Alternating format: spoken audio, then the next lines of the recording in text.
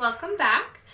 Today's video is all about what I sewed up in the month of March. So I made quite a few things, which is definitely more than I normally make in a month. Um, but I was feeling really energized to get back at my sewing machine after um, a couple months of not sewing very much. So yeah, I'm really excited to share what I made. So starting with what I am wearing, I made a couple projects for work. Um, so if you don't know, I am a freelance marketer and content coordinator and one of my clients happens to be Forget Me Not Patterns. Uh, and I love working with Jo. Um, I really love her. I mean, as a person, she's awesome. Um, but I love her designs as well. So this outfit and these two pieces are things that I made for a blog post, which I will link below. I want to just make the like disclaimer that like yes, I got paid to do the blog post, but not to like share um, on any of my channels. I'm talking about these pieces purely because I love them and I'm really proud of the work that I did. So I did a tutorial on how to change the waistband of the Ella skirt. So this one here and this one as well um, from a fitted waistband with an invisible zip to elastic. So this one is, I've got a belt on over it, but this one is fully elasticated and this one is uh, a flat front with an elastic back. So, and then I made a couple tops to go with them. So to get into it, this is the Vera top. It is a free pattern. Um, it comes with a v-neck as the free version, and then there is a $2 scoop neck add-on that I used. And I think I've talked about it before. It was in my Make 9. I did like a, a seafoam green version, and I also have a purple one. It's one of my TNTs, and I I just really love that it like fits like a t-shirt, feels like a t-shirt, it's cozy and comfy, but with a little extra like flare that makes it kind of elevated, more blouse-like. Um, so I really love that, and I made both of these tee. This is a different tee, but I also made it in the same bamboo cotton jersey mix that I love so much. Um, it just like, it behaves better than it's everything I like about a viscose jersey in how it like hangs and sits on my body, but it has a bit more structure and it behaves better like a cotton jersey would. So it's just like the perfect happy middle for me. So yeah, that's the Vera top. And then, yeah, like I said, I made the Ella skirt. This one has a fully elastic waist. Um, and this is the knee length version. The pattern comes with a above the knee, at the knee, and then a like ankle length maxi version. Um, and then there's three pocket types you can do as well. Two of them are patch pockets.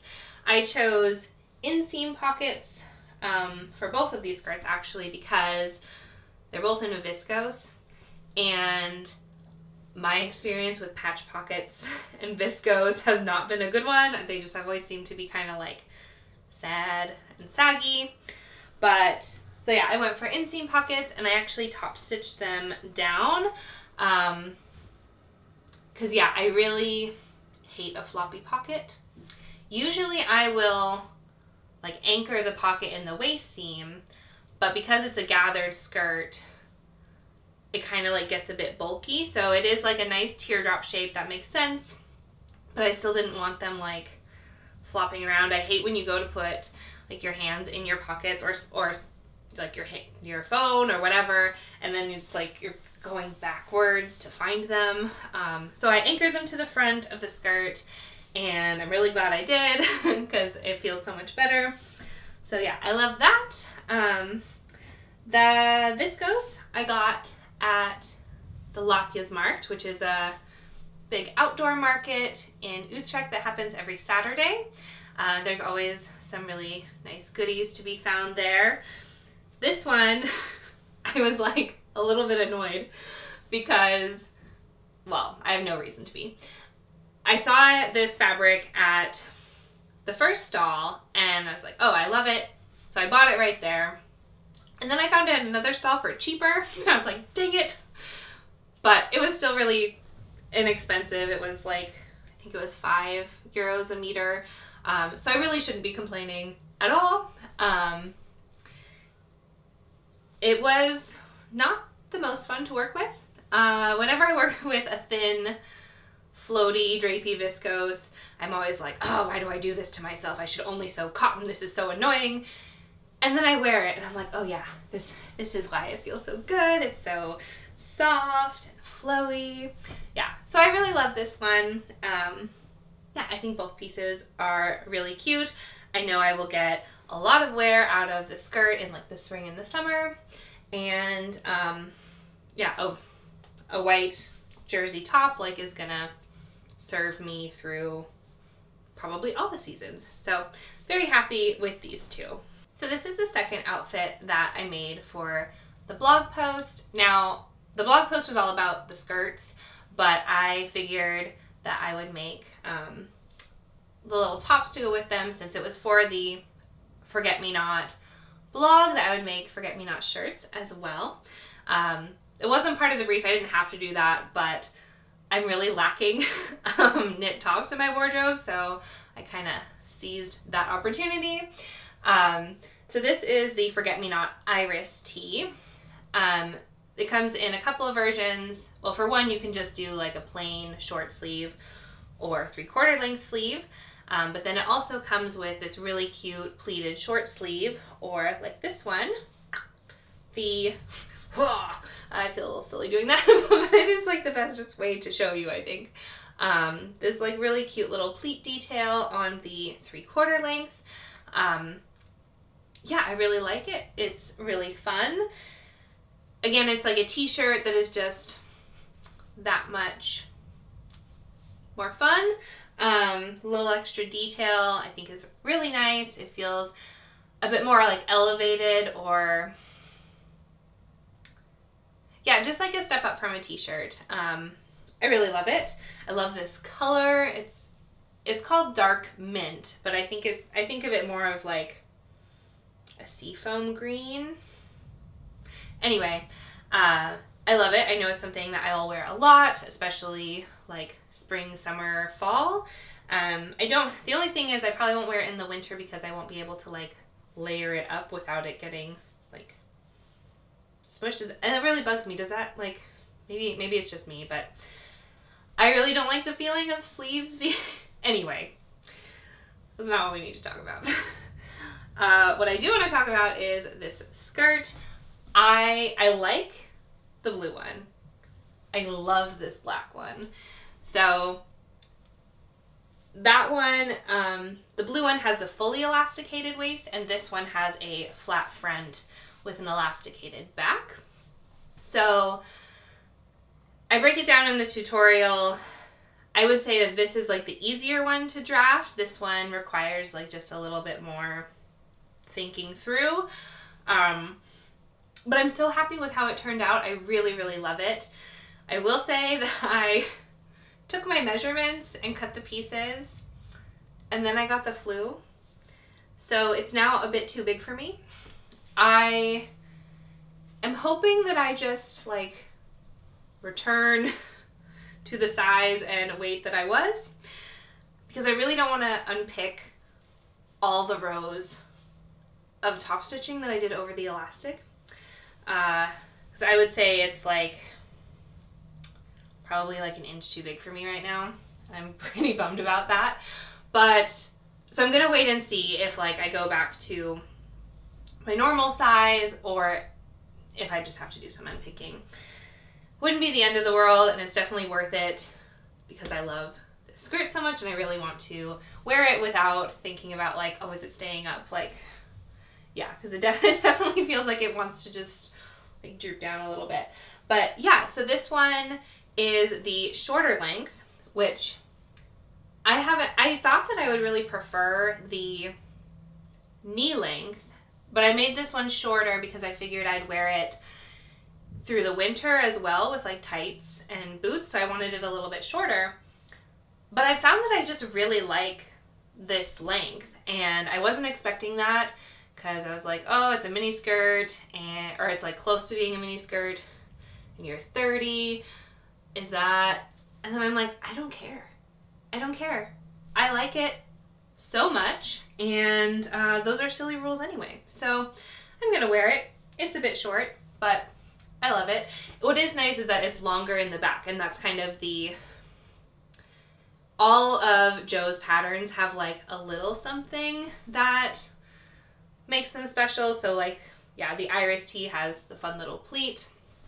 For the Ella skirt, it is this high-low hem with the little ruffle. So it is nice that I have like some practical like length in the back.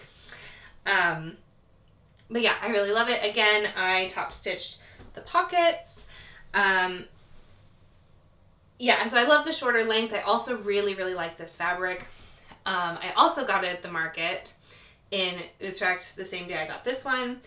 And I was with my friend Joyce and she she was laughing at me because I saw this and was like, yes, finally that's because we had been like all through the market and this was the last stall that we stopped at. And so I, I liked it so much that I bought six meters of it.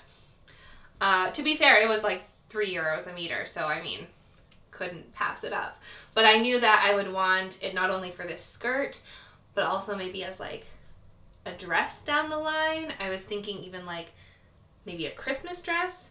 Uh, looking at the fabric, I don't think it's necessarily Christmassy on its own, but it has all these really beautiful like jewel tones in it. Like uh, there's like a, uh, what, I want to say copper blue, that's not it. Cobalt, cobalt blue. Thanks for that. Um, but then there's also like a green that is similar to this as well as an olive green. There's like peachy pink tones. There's a red. So there's just like so much that I can pair this with as a skirt. But I also think it would work really nicely for like a holiday dress or something like a bit more fancy, I guess. So yeah, I really, really love this one. Again, like swoosh factor, very, very good. Um, yeah, I know I'll be wearing it a whole bunch. We'll see if we'll see if I have to make any like modifications to to the waistband, but if I do, it will be worth it even though like the thought of picking top stitched elastic just makes me want to cry. It would be worth it because I need to wear this skirt like as much as possible. So next I have the Adrienne blouse from Friday Pattern Company. And hmm, I would say like the jury is out on this one, not because of, well, not necessarily because of the pattern, but I made a size too big. Um, and I, so this was the first thing I made after like a couple weeks of being sick. Um, and then after like a month of not making anything. And so looking back, I'm like, hmm, yeah, I was really like, my head wasn't quite in it. Uh, so yeah, I made the wrong size and I realized that, yeah, I picked the size based on my waist instead of based on my bust and hips because the point, and I like even wrote this down in my, I have like a ridiculous color coded Excel sheet with all my sewing plans in it. And I'd even like put in a note like grade out the waist. But instead I picked the size based on my waist and then graded out. Uh, so yeah, that was just like a silly mistake. Um, so it's quite like gapey here. I took out a lot of the elastic, I think like uh, somewhere between like four and six centimeters. So it was like quite a lot um, out of the shoulder, which I often, like I'm pretty short here apparently. I always have to do some kind of adjustment, whether it's like a sloping shoulder or um, yeah, if it's a raglan, I usually take out a little bit. Um, yeah. So it's, so I expected it to be too big there, but it is like gapey here as well. And then the sleeves are longer than I would want. So none of that is the fault of the pattern. That is all on me. It was still like a great learning experience because I really, really love the shape. I love this like color. Um, yeah, like this Bordeaux. I think it was, I think it was called raspberry. Um, but it's called a summer cotton jersey. So it's very, it's much thinner than like a regular cotton jersey. And I think in my mind I had equated thin to drapey. And that wasn't quite right. It's definitely like got more body than a like a viscose jersey or a bamboo jersey. Some kind of mix there. Um, even though it is like the same thickness as like one of these. Um, it definitely like has more body and doesn't gather up quite as nicely as the um, something like that would. So I'd have that in my notes for next time as well. Hopefully next time I will actually read my notes about what size to pick and what material to use. But um, the other thing that I didn't love about the pattern is that I was expecting a better finish. So this is the, you finish the sleeve edge here and then the neckline separately and then they're just like joined together. So you have like the little nub um, out and I was thinking that it was going to be a more like a facing situation. Um, ultimately, I think that that would be much cleaner, much better, but it is a beginner pattern. So yes, doing a facing would be nicer, but that would also like complicate things more. So I understand it's just not my preference. Um, will I make it again? Yes.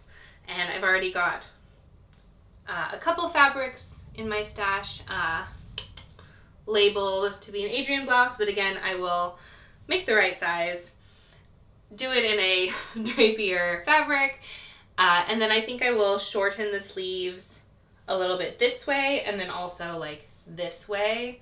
Um, yeah, to account for, I, I just think it looks better um, a little closer to the waist as far as with the sleeves being so big. I think I'd like them a little shorter. And then again, because my shoulders are a little, or like this distance is a little shorter on me than, than like most patterns are drafted for. Yeah, but I, so it was a really good first try of this pattern. I will wear it, but it's, it does, it's not one that I like love that I'm super excited about, which is very fair. I mean, you win some, you lose some, and you don't always know until you try. So that's this one. So I was planning on getting like a pair of jeans or something for the rest of these uh, tops that I had to show you, but I actually like quite like it with the skirt. So this is the Peppermint Paddington top. Uh, it was designed by French Navy for Peppermint Magazine. It is a pay what you can um, pattern and I really, really love it. Um, so this was on my spring plans and I was initially like not going to start any of those until like April, but then I realized that it like met the requirements for the Sew Frugal 22 challenge in that it's a free pattern that's a garment and this was a fabric for my stash, not a new fabric. So I was like, oh great, like I'll just get started on it early. And then like I couldn't get my, so I finished it in time, but I like couldn't get my life together to like photograph it and actually enter it into the contest. So here's my Sew Frugal 22 entry. Several days late, but you know, so goes it. Um, anyway, I am really happy with how this turned out. I think it is something that I will wear all the time. I love the raglan sleeves and like the big puff. Uh, the fabric is like I love it. I love it so much. Um, I love the texture and like how it really holds the sleeve really nicely. It's a cotton dobby from ansje.eu or Ansje Handmade. Um, it was a pain to sew. Uh, for so many reasons. Yeah, so partially the fabric. My sewing machine really did not like it like it's a very fine cotton, but these like little dobby pieces, I don't even know what they're called, clip dots. I think they're clip dots. Um, are quite thicker. So my needle was like getting stuck in them. Uh, I even tried my walking foot, but that made it like worse. Um, cause yeah, it was, my sewing machine was having a hard time with like the different textures.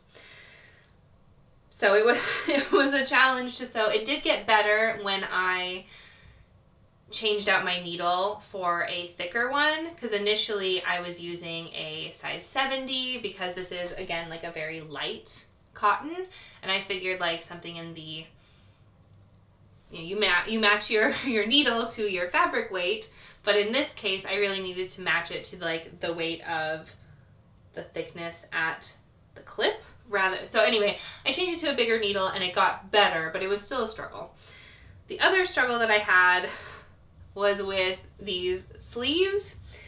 Um, I really dislike the method that the pattern has you do of just turning up the hem to thread the elastic through because for one the sleeve is like this big like it this is definitely a fabric hungry pattern which is fine and again like i think the result is beautiful but it's like super, super curved. It's like very dramatic um, to get the big puff. And turning that over neatly was such a struggle. I would much, much rather draft a, inside facing to make the elastic channel. That is definitely what I will do next time. I think it took me probably a total of like five hours to hem these sleeves. I'm not the fastest sewist, but that is extreme. Uh, yeah, because it like has you based, uh, put basting stitches so you can kind of gather them in to like make it sit flat, but that like was not happening. Probably exacerbated by the like different textures in the fabric not quite wanting to sit right. Although it's cotton, like it did press pretty well, but it still like wanted to move around a bit. And then like your channel is supposed to be more than two centimeters and I could barely, and you're supposed to have like 2.3 centimeter wide elastic. I could barely, I knew that was not going to happen. Um, so I went down to one and a half centimeter elastic and I could barely get it through. Um, so again, again, this is like pretty fresh off the machine and I'm still like maybe having some trouble differentiating how I feel about the finished product and how I feel about wearing the top with like my frustrations about making it. I will say I think I'll make it again because again, I really love the shape. Uh, I love a raglan sleeve. They're my favorite. Um, and especially like a raglan with this fun poof. I keep like messing with it because I, I just like it so much. But I will definitely draft a sleeve facing next time and I think I will take out um, a little bit out of the center back as well. Um, I left off the button placket. I just cut it um, I couldn't cut it on the fold because I didn't have enough fabric. So I just cut two back pieces and sewed them together, which meant I had to do a little finagling with the facing because it has like a step back facing, which is a super cool technique I really, really like, but I just didn't want, I just didn't want to do buttons. And I'm really glad I didn't do buttons because it, yeah, my machine probably would have like freaked out. My machine does really good buttons, but I think with the trouble it was having with the clip dots it would have been a mess. But my real reason was that this was going to be for Sew Frugal and I didn't have any buttons that matched, so I didn't want to go buy buttons for a sewing challenge about not buying things. So, but in the end, I'm really glad I went that way, even though I didn't actually enter it into the contest, because again, could not get my life together. But, you know, it's not about that. It's, uh, it's about sewing something fun. And yeah, now I have this cool, fun top in my closet. The last thing I made is probably my favorite. Uh, this is the Jackson pullover from Helen's Closet. And I feel so silly about this make because I have like five Jackson tees. I have two that I made like as part of a pajama set, and then I have three that I wear like I wear all three once a week. Whether it's like under something or on their own. They really like need some love actually. There's one that's like almost falling apart because I wear it so much. But for some reason, I was like, oh, yeah, I like the t-shirt, but I'm not going to like the pullover. I, I really can't explain why I thought that. Um, so I put it, I just like didn't make it for ages. And then I had this fabric that I really wanted to use this season. Um, it's a See You at 6 French terry with matching ribbing. Um, I could not tell you the color. It's it's either balsamic green or Atlantic blue. I tried to look it up, but honestly, I cannot tell the difference between the two. So it's some blue green by um, See You at 6. And yeah, so I really wanted to make it up this season rather than like waiting until next fall to have a sweater. Um, but I couldn't decide what pattern to make and I was just feeling like I really wanted to like do I want to make something fancy with it? No, because I because I'd want to twirl something new. I'll just make the Jackson.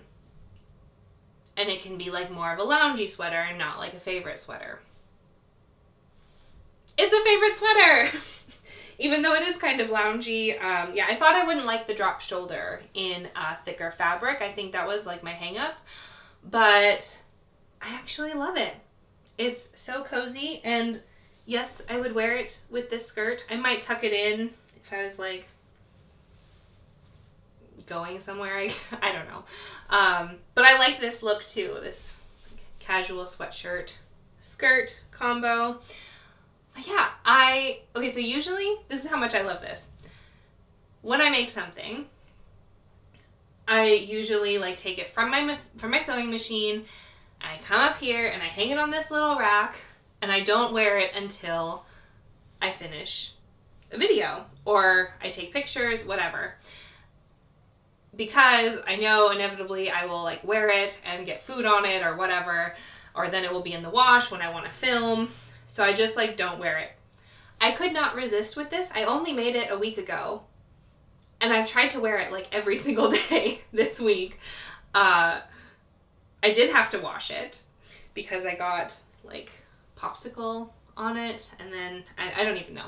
But it was that's how much I like it. I could not resist wearing it every single day. So yeah, I really love it. I want to make I immediately want another one. Though I I want to say that I really loved making it with this ribbing. Um, I've tried other ribbings in the past and have just been like, eh, I'll just use like self fabric because I don't really like, I, I just like don't see how they're better most of the time. But this ribbing is so fantastic. It was so quick. Um, I think the assembly for this sweatshirt took me like an hour and 15 minutes, which is a record for me to make anything. Um, and part of it was just because this ribbing is so nice. Like it just does everything you want it to do. Uh, it stretches, it stretches, but it's also like forgiving. I don't know. But I really love it. I am so happy with this. I want to make eight more. um, I won't because it's like almost springtime. But I know that this will be a sweater that I keep out like all year round. I usually do um, I pack up all of my off-season stuff, bring it up here to the attic because my closet is really small. But, so I'll pack up all my other sweaters, but I'm definitely keeping this one out because, yeah, I love it. So yeah, that's everything that I made in March. Uh, I love sharing what I'm making with you guys. Uh, that's always fun for me, so hopefully you enjoyed it too. And uh, yeah, I'll be back soon with my plans for April. And I've also got some like fun projects uh, in, in the works uh, that I'm excited about. Uh, so yeah, until then, happy making. Bye!